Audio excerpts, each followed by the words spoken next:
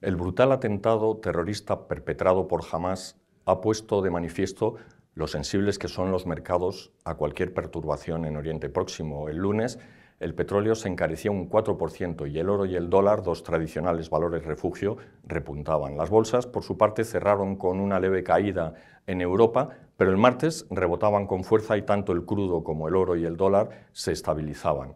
Los inversores apuestan por un encapsulamiento del conflicto. Van a morir, ya han muerto miles de personas, pero los negocios van a seguir como de costumbre. Este es el escenario central que manejan los expertos.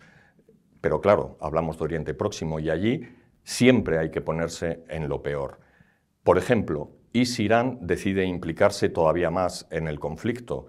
Una vez más, las consecuencias en términos de vidas serían trágicas, pero Irán apenas bombea el 3% del petróleo mundial y exporta el 80% a China, de modo que Occidente no debería tener problemas para prescindir de esa producción.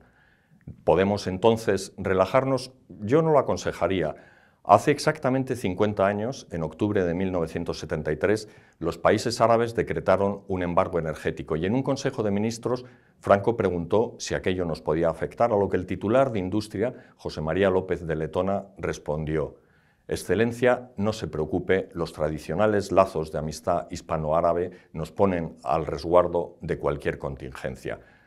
El propio López de Letona contaría posteriormente que antes de fin de año estaba cesado.